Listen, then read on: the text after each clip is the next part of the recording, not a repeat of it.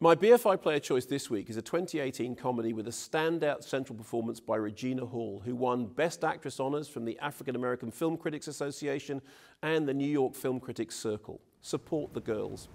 Can I ask, do you get like grabbed? It happens. Yeah, like when someone's super wasted or whatever, but it's pretty rare, and you can usually tell when something like that's coming, you know, and just kind of like. You know, let me just say this. Uh, we have a zero tolerance policy on it.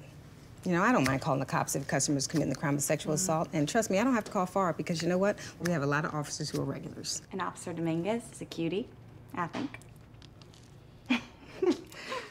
Written and directed by Andrew Bujalski, who made the brilliant Computer Chess and who has been hailed as the godfather of mumblecore, Support the Girls is a refreshingly honest mixture of drama and comedy that focuses on a group of women juggling complex home lives with working in double whammies, a sports bar with curves that also insists on having a family friendly reputation.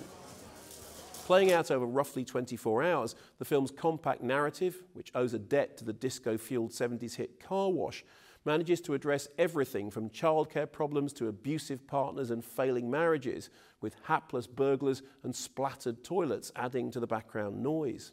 Alongside such smart choices as Eighth Grade and Annihilation, Barack Obama cited Support the Girls as one of his favourite films of 2018, and it's easy to see why.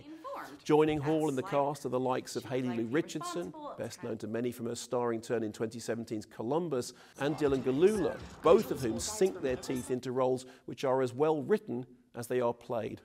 The result is a film that has heart, soul, and substance, of which my observer colleague Wendy Ide correctly noted that under the party whoops and confetti cannons, there's a deceptively complex and layered portrait of female solidarity.